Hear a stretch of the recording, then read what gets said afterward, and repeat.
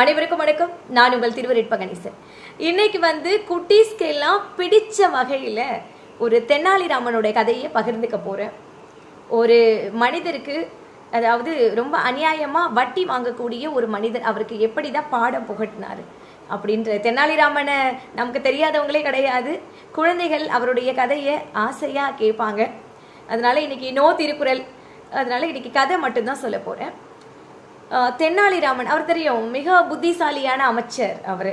அவருக்கு வந்துட்டு ஒரு நாள் ரொம்ப உடம்பு முடியலை. வைத்தியம் பண்ணுறதுக்கு அவர்கிட்ட பணம் கிடையாது. அதனால் என்ன பண்ணுறாருன்னா பணம் தேவை. அந்த ஊரில் வட்டிக்கு கொடுக்கக்கூடிய ஒரு நபர் இருக்கார். அவர்கிட்ட போயிட்டு பணம் கேட்குறாரு அவரு கொடுக்குறாரு. கொடுத்துட்டு அவர் கேட்குறாரு இந்த பணத்தை எப்பொழுது எனக்கு திரும்ப தருவீங்க?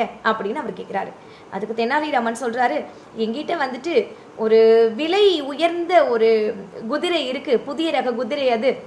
அது ரொம்ப ஃபாஸ்ட்டாக போகும். அந்த மாதிரி குதிரை யார்கிட்டையுமே கிடையாது. ஆனால் எங்கிட்ட தான் இருக்குது அது நெல் நல்ல விலைக்கு போகும்.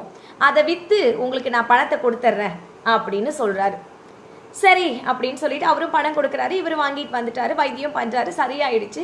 ஆனால் ரொம்ப நாட்கள் ஆகுது தெனாலிராமன் கிட்டேருந்து பணம் வரவே இல்லை. அதனால இந்த வட்டிக்காரர் வந்து பொறுத்து பொறுத்து பார்த்துட்டு தெனாலிராமனை போய் பார்க்குறாரு என்ன பணம் தரேன்னு சொன்ன இன்னும் தரவே இல்லையே எப்போ குதிரையை விற்று பணம் தர?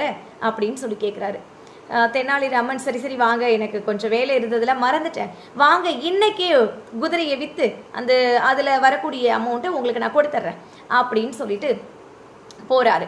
பக்கத்து ஊர்ல ஒரு சந்தை நடந்துட்டு இருக்கு அங்க போயிட்டு குதிரையை வித்தரலாம் அப்படின்னு சொல்லிட்டு இவரை அழைச்சிட்டு போறாரு.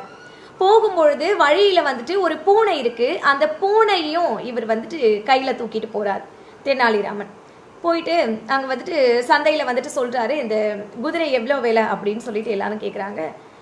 குதிரை வந்துட்டு ஒரு ரூபா தான். ஆனா நான் கையில வச்சிருக்க பூனை வந்து ஐநூறு ரூபாய் அப்படின்னு சொல்றாரு. எல்லாருக்கும் ஒரே ஆச்சரியம். என்னது பூனை போய் ஐநூறுரூபா குதிரை வந்து ஒரு ரூபாயா? அப்படின்னு சொல்லிட்டு. ஆமா.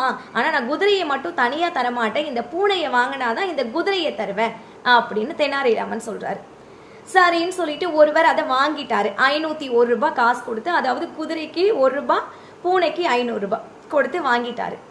வாங்கினதுக்கப்புறம் தெனாலிராமன் வீட்டுக்கு வர வழியில் இவர்கிட்ட அமௌண்ட்டை கொடுக்கணும் இல்லையா?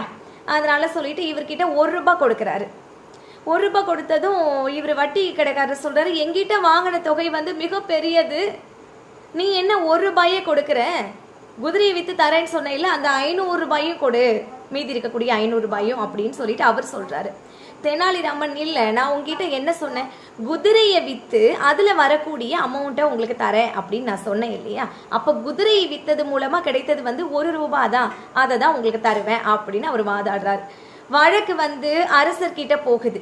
அரசர் வந்து இதெல்லாம் விசாரிச்சுட்டு இந்த நபரை பற்றியும் தெரியும். தென்னாலிராமனுக்கு ஒரு விஷயத்துக்காக தான் இவருக்கு சரியான பாடம் புகட்டணும் அப்படின்ற காரணத்துக்காக தான் இந்த விஷயமும் செய்கிறாரு அப்படின்னு அரசரும் புரிஞ்சுக்கிட்டாரு. தெனாலிராமன் பக்கம்தான் நியாயம் அப்படின்னு தீர்ப்பு வழங்கிட்டாரு. ஆக இதில் நமக்கு சொல்லக்கூடியது என்ன அப்படின்னா இந்த தென்னாலிராமனுடைய சாதுரியமான புத்தியை நம்ம புரிஞ்சுக்கணும். அதாவது என்னன்னா குதிரையை விற்று பணம் கொடுக்கறதா சொன்னார் இல்லையா? அவர் பேச்சு மூலம் அவர் ஜெயிச்சிட்டாரு. என்ன? அந்த குதிரைக்கு அதனால தான் அவர் வந்துட்டு அந்த அந்த சூழ்ச்சி புரிஞ்சிட்டு தான் அதன் காரணமாக தான் அவர் சொல்லியிருக்காரு குதிரையோட விலை வந்து ஒரு ரூபா பூனைக்கு ஐநூறுரூபா அப்படின்னு சொல்லிட்டு. அதனால இந்த பூனையை ஐநூறுரூபாய்க்கு விற்றுட்டு ஒரு ரூபாய் காசை தான் அவருக்கு கொடுத்துட்டு அதுலேருந்து அந்த வட்டி கடைக்காரர் இருக்கார் இல்லையா?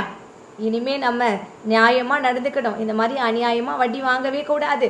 நம்ம செஞ்ச தவறுக்கு தக்க தண்டனை தெனாலிராமன் கொடுத்துட்டாரு அப்படின்னு சொல்லிட்டு அதுக்கப்புறம் அவரு ஒழுங்கா வாழ ஆரம்பிச்சிட்டாராம் என்ன குழந்தைங்களா உங்களுக்கு இந்த கதை பிடிச்சிருக்கா? உங்களுக்காக தான் தெனாலிராமன் கதை பிடிச்சிருந்துச்சு அப்படின்னா லைக் பண்ணுங்க கமெண்ட் பண்ணுங்க உங்களோட கருத்துக்களை தெரிவிங்க. என்னோட சேனலை தொடர்ந்து பார்க்கணுன்னா சப்ஸ்கிரைப் பண்ணுங்க. நன்றி. வணக்கம்.